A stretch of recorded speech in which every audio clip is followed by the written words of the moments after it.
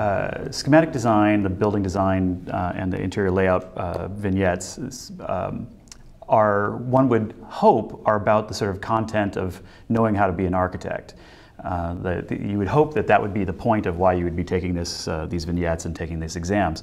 Um, in actuality, there's really not a heck of a lot of content in there. There is some, and we'll talk about it as we go along.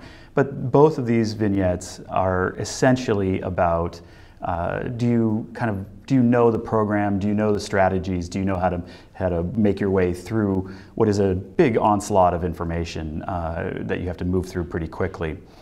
Uh, so uh, we're going to just sort of jump right in um, and start talking about these these things.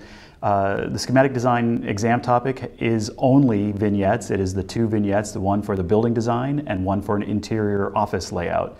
We're going to see if we can race through uh, both of those uh, tonight and just kind of get uh, a, a, quick idea of some of the base strategies and how you might, uh, how, how, you might move through it. Uh, so let's start off with the building design. And the building design is kind of an interesting thing because it's a, it's a big, big project. It's a multi-hour project. it's a two-story building. You have to design the whole building.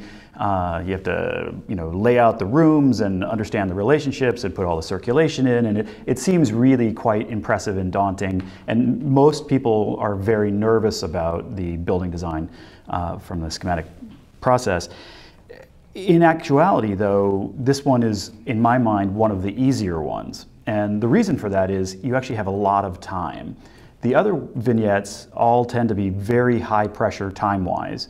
Uh, but this one, you have many hours to, to, to play it out. So you have plenty of time to read through the information, make your decisions, move through the design, and then go back and reread and check all that information.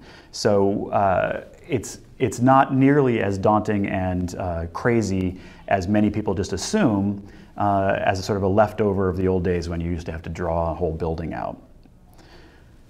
So the big issues here, you're going to have to follow the directions really precisely and very quickly, um, just so you have enough time to recheck it.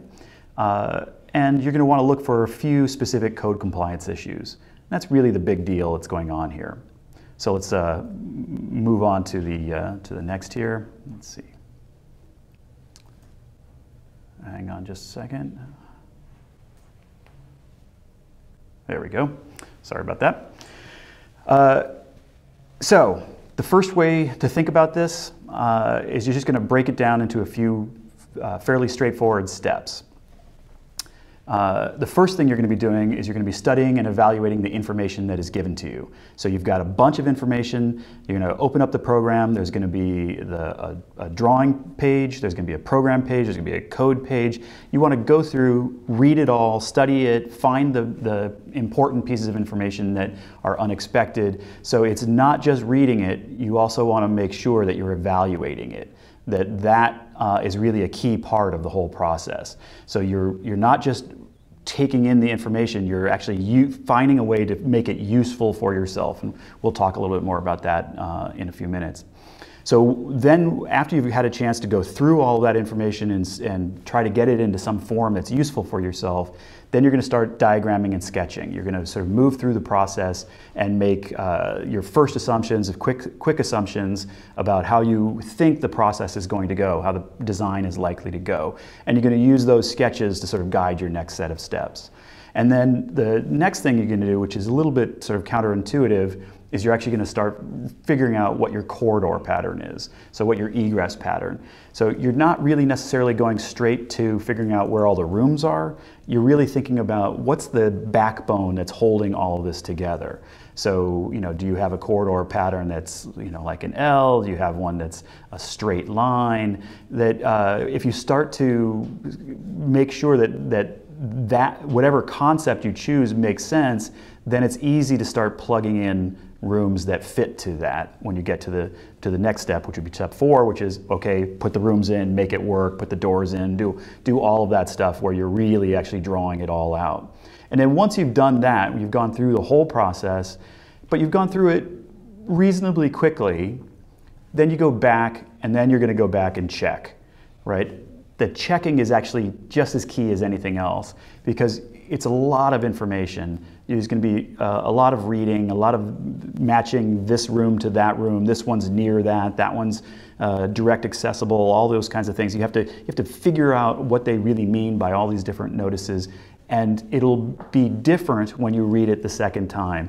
You're quite likely to find a little piece of information here or there that you didn't understand what they really meant, and then that gives you plenty of opportunity to sort of go back, fix it, and then make it work and check it again. So key to remember here, one thing at a time.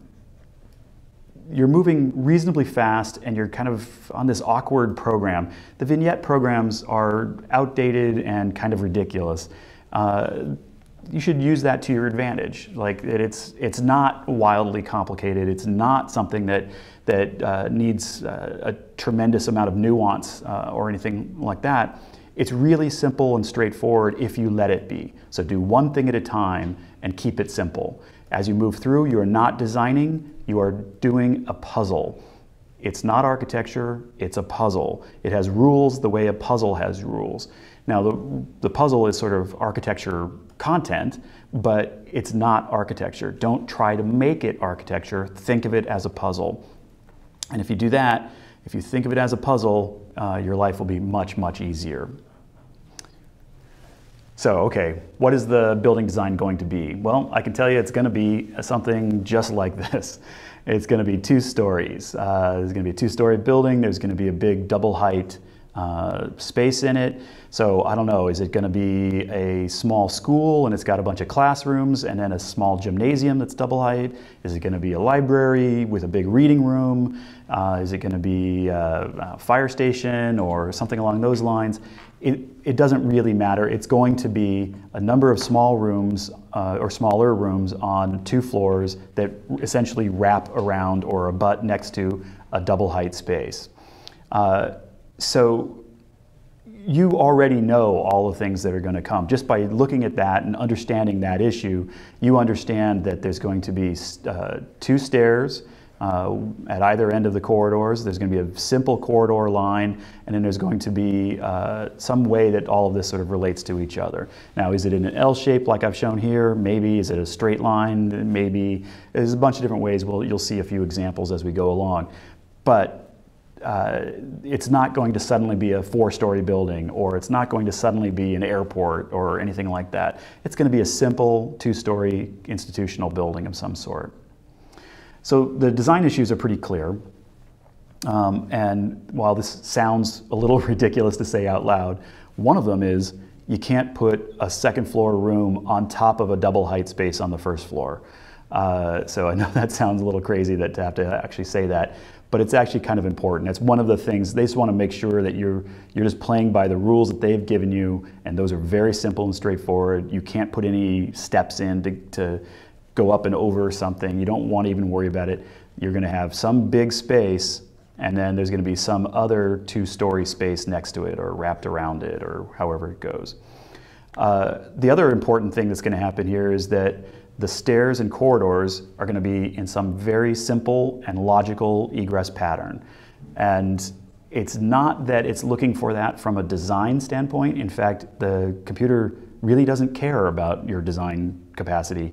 Uh, nobody is going to look at this and say it's a beautiful building. Um, if you are thinking about that at all, you're doing the wrong thing.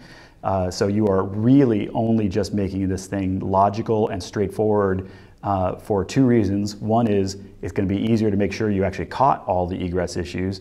Uh, and then the other reason is the more simple and straightforward you make it, the easier it's going to be on you. The more complicated you make that uh, corridor system, that circulation system, the harder it's going to be on you to fit everything in. And then, as I said, you're going to follow the rules. And so the rules really are just the code and all the list of uh, information that comes from the program. Uh, you just have to, there's going to be lots of little things like this room gets a window and that room gets a view and blah, blah, blah. Uh, so those are all the rules that you have to follow. So that's all you're doing. There's really nothing else going on. You're making this little two-story building uh, with this one big room, and then you're following the rules. Make sure the circulation is logical and has a simple uh, logical egress, uh, and that you've respected that double height space all of these sort of rules that I was just mentioning are going to fall under the category of the program, the code, and then just how you're drawing them.